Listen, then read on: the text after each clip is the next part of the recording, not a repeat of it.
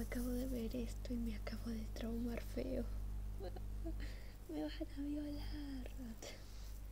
Porque especial de Halloween. Bueno, no es Halloween, pero me compré un anillo en corazón de melón.